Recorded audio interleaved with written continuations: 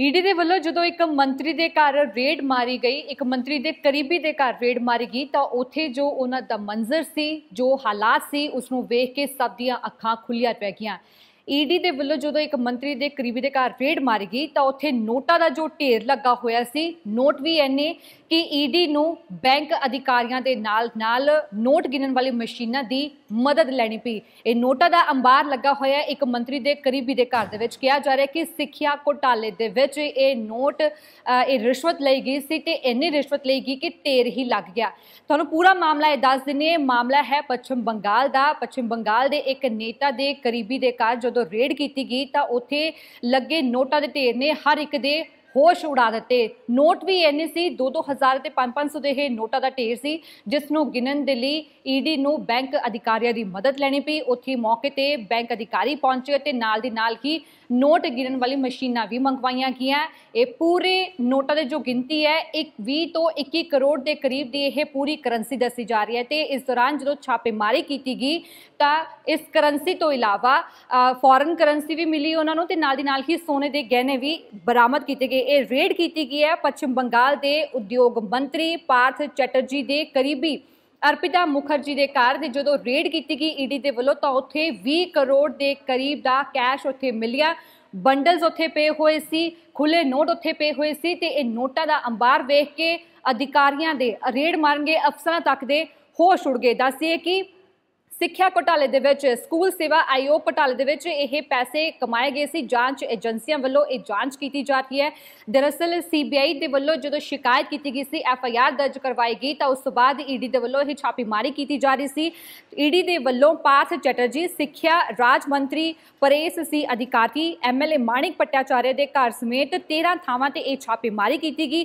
ਹਾਲਾਂਕਿ, ਸਭ ਤੋਂ ਵੱਧ ਨਕਦੀ ਜੋ ਮਿਲੀ ਹੈ, ਪਾਰਥ ਚੈਟਰਜੀ ਦੇ ਕਰੀਬੀ ਅਰਪਿਤਾ ਮੁਖਰਜੀ ਦੇ ਘਰ ਤੋਂ ਇਹ ਸਭ ਤੋਂ ਵੱਡੀ ਰਕਮ ਬਰਾਮਦ ਹੋਈ ਹੈ। 20 ਤੋਂ 21 ਕਰੋੜ ਦੇ ਕਰੀਬ ਦਾ ਇਹ ਕੈਸ਼ ਦੱਸਿਆ ਜਾ ਰਿਹਾ ਹੈ, ਜੋ ਕਿ ਅਰਪਿਤਾ ਮੁਖਰਜੀ ਦੇ ਘਰ ਤੋਂ ਬਰਾਮਦ ਹੋਇਆ। ਪੱਛਮ ਬੰਗਾਲ ਦੇ ਮੰਤਰੀ ਨੇ ਪੱਛਮ ਬੰਗਾਲ ਦੇ ਇਹ ਉਦਯੋਗ ਮੰਤਰੀ ਨੇ ਪਾਰਥ ਚੈਟਰਜੀ, ਜਿਨ੍ਹਾਂ ਦੇ ਕਰੀਬੀ ਅਰਪਿਤਾ ਮੁਖਰਜੀ ਦੇ ਘਰ ਤੋਂ ਇਹ ਵੱਡੀ ਮਾਤਰਾ ਦੇ ਵਿੱਚ ਕੈਸ਼ ਬਰਾਮਦ ਹੋਇਆ। ਈਡੀ ਨੇ, ਈਡੀ ਦੀ ਟੀਮ ਦੇ ਵੱਲੋਂ ਪਾਰਥ ਚੈਟਰਜੀ, ਸਿੱਖਿਆ ਮੰਤਰੀ ਪਰੇਸ਼ ਸੀ ਅਧਿਕਾਰੀ ਅਤੇ ਐਮਐਲਏ ਮਾਣਿਕ ਪਟਿਆਚਾਰ ਸਮੇਤ 13 13 ਥਾਵਾਂ ਤੇ ਉਹਨਾਂ ਦੇ ਘਰਾਂ ਦੇ ਵਿੱਚ ਛਾਪੇਮਾਰੀ ਕੀਤੀ ਸੀ ਤੇ ਉਸ ਤੋਂ ਬਾਅਦ ਜੋ ਹਾਲਾਤ ਸਾਹਮਣੇ ਆਏ, ਜੋ ਮੰਜ਼ਰ ਸੀ, ਉਸ ਨੂੰ ਵੇਖ ਕੇ ਹਰ ਕਿਸੇ ਦੇ ਹੋਸ਼ ਉੱਡ ਗਏ। ਸਭ ਤੋਂ ਜ਼ਿਆਦਾ ਜੋ ਨਕਦੀ ਹੈ, ਅਰਪਿਤਾ ਮੁਖਰਜੀ ਦੇ ਘਰ ਤੋਂ ਬਰਾਮਦ ਹੋਈ ਹੈ। ਦੱਸਦੇ ਕਿ ਇਸ ਦੌਰਾਨ ਅਧਿਕਾਰੀਆਂ ਨੂੰ ਹੋਰ ਵੀ ਕੁਝ ਆਪੱਤੀਜਨਕ ਸਮਾਨ ਬਰਾਮਦ ਹੋਇਆ ਇਲੈਕਟ੍ਰੋਨਿਕਸ ਵੀ ਬਰਾਮਦ ਹੋਏ ਨੇ, ਕਈ ਤਰ੍ਹਾਂ ਦੇ ਦਸਤਾਵੇਜ਼ ਵੀ ਉਹਨਾਂ ਨੂੰ ਮਿਲੇ ਨੇ ਫੋਰਨ ਕਰੰਸੀ ਉਹਨਾਂ ਨੂੰ ਬਰਾ- ਮਿਲੀ ਹੈ ਇਸ ਦੌਰਾਨ ਤੇ ਸੋਨੇ ਦੇ ਗਹਿਣੇ ਵੀ ਬਰਾਮਦ ਹੋਏ ਨੇ, ਸਭ ਨੂੰ ਈਡੀ ਦੇ ਵੱਲੋਂ ਜ਼ਬਤ ਕਰ ਲਿਆ ਗਿਆ ਹੈ ਤੇ ਪੜਤਾਲ ਕੀਤੀ ਜਾ ਰਹੀ ਹੈ, ਪਰ ਜੋ ਨੋਟਾਂ ਦਾ ਢੇਰ ਲੱਗਿਆ ਹੋਇਆ ਸੀ, ਉਸਨੇ ਹਰ ਕਿਸੇ ਦੇ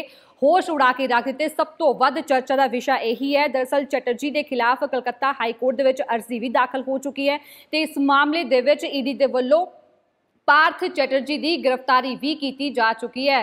ਸਕੂਲ ਸੇਵਾ ਕਮਿਸ਼ਨ ਦੇ ਜੋ ਆਯੋ, ਸਕੂਲ ਸੇਵਾ ਕਮਿਸ਼ਨ ਜੋ ਬਣਾਈ ਗਈ ਹੈ, ਜੋ ਸਿੱਖਿਆ ਨੂੰ ਲੈ ਕੇ ਪੱਛਮ ਬੰਗਾਲ ਦੇ ਵਿੱਚ ਸ਼ੱਕ ਜਤਾਇਆ ਜਾ ਰਿਹਾ ਈਡੀ ਦੇ ਵੱਲੋਂ ਕਿ ਟੀਚਰਾਂ ਦੀ ਭਰਤੀ ਨੂੰ ਲੈ ਕੇ ਜਾਂ ਉਹਨਾਂ ਨੂੰ ਡਿਊਟੀ ਅਸਾਈਨ ਕਰਨ ਨੂੰ ਲੈ ਕੇ ਇਹ ਸਾਰੀ ਰਿਸ਼ਵਤ ਇਕੱਠੀ ਕੀਤੀ ਗਈ ਹੈ। ਸੋ ਇਸ ਮਾਮਲੇ ਦੇ ਵਿੱਚ ਈਡੀ ਵੱਲੋਂ ਲਗਾਤਾਰ ਛਾਪੇਮਾਰੀ ਕੀਤੀ ਜਾ ਰਹੀ ਹੈ। ਪੱਛਮ ਬੰਗਾਲ ਦੇ ਜੋ ਵੱਖ-ਵੱਖ ਨੇਤਾ ਨੇ, ਉਹਨਾਂ ਦੇ ਘਰਾਂ ਦੇ ਵਿੱਚ ਛਾਪੇਮਾਰੀ ਕੀਤੀ ਗਈ ਹੈ। ਹਾਲਾਂਕਿ ਪਾਰਥ ਚੈਟਰਜੀ ਨੂੰ ਜੋ ਮੰਤਰੀ ਨੇ, ਉਦਯੋਗ ਮੰਤਰੀ ਨੇ ਪੱਛਮ ਬੰਗਾਲ ਦੇ, ਉਸ ਨੂੰ ਈਡੀ ਦੇ ਵੱਲੋਂ ਗ੍ਰਿਫਤਾਰ ਵੀ ਕੀਤਾ ਜਾ ਚੁੱਕਿਆ ਹੈ ਤੇ ਸਭ ਤੋਂ ਵੱਧ ਚਰਚਾ ਦੇ ਵਿੱਚ ਆਈ ਹੈ ਅਰਪਿਤਾ ਮੁਖਰਜੀ ਜਿਸ ਦੇ ਵੱਲੋਂ ਜਿਸ ਦੇ ਘਰ ਤੋਂ 20 ਕਰੋੜ ਦੇ ਕਰੀਬ ਦੀ ਇਹ ਕੈਸ਼ ਬਰਾਮਦ ਹੋਇਆ ਅਤੇ ਬੈਂਕ ਅਧਿਕਾਰੀਆਂ ਦੇ ਨਾਲ ਨਾਲ ਉੱਥੇ ਨੋਟ ਗਿਣਨ ਵਾਲੀ ਮਸ਼ੀਨਾਂ ਵੀ ਮੰਗਵਾਉਣੀਆਂ ਪਈਆਂ ਤਾਂ ਜੋ ਨੋਟਾਂ ਦੀ ਗਿਣਤੀ ਕੀਤੀ ਜਾ ਸਕੇ। ਖੁੱਲੇ ਦੇ ਵਿੱਚ ਇਹ ਨੋਟ ਪਏ ਸਨ। ਤਸਵੀਰਾਂ ਵੇਖ ਸਕਦੇ ਹੋ ਤੁਸੀਂ ਕਿ ਕਿਸ ਤਰੀਕੇ ਦੇ ਨਾਲ ਜਦੋਂ ਐਡਾ ਵੱਡੀ, ਐਡੀ ਵੱਡੀ ਮਾਤਰਾ ਦੇ ਵਿੱਚ ਜਦੋਂ ਨੋਟ ਵੇਖੇ ਹੋਣ ਤਾਂ ਨਾ ਸਿਰਫ ਅਫਸਰ ਬਲਕਿ ਅਧਿਕਾਰੀ ਵੀ ਕਾਫੀ ਹੈਰਾਨ ਰਹਿ ਗਏ ਤੇ ਨੋਟ ਗਿਣਨ ਵਾਲੀ ਮਸ਼ੀਨਾਂ ਤੱਕ ਉੱਥੇ ਮੰਗਵਾਉਣੀਆਂ ਪਈਆਂ।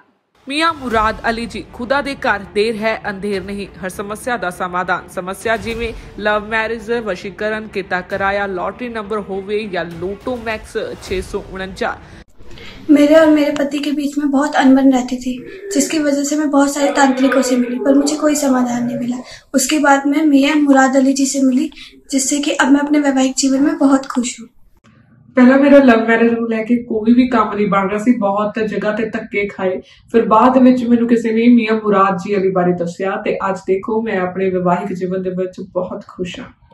ਕਾਰੋਬਾਰ ਇੱਕਦਮ ਠੱਪ ਹੋ ਗਿਆ ਸੀ। ਅਸੀਂ ਬੜੇ ਔਖੇ ਹੋ ਗਏ। ਫਿਰ ਸਾਨੂੰ ਕਿਸੇ ਨੇ ਮੀਆਂ ਮੁਹੰਮਦ ਅਲੀ ਜੀ ਬਾਰੇ ਦੱਸਿਆ। ਉਹਨਾਂ ਨੇ ਸਾਡੀ ਸਾਡੀ ਸਮੱਸਿਆ ਦਾ ਚੰਗੀ ਤਰ੍ਹਾਂ ਜੜੋਂ ਨਿਪਟਾਰਾ ਕਰ ਦਿੱਤਾ। ਹੁਣ ਅਸੀਂ ਬਹੁਤ ਖੁਸ਼ ਹੁਣੇ ਕਾਲ ਕਰੋ 98417 18786 97797 24075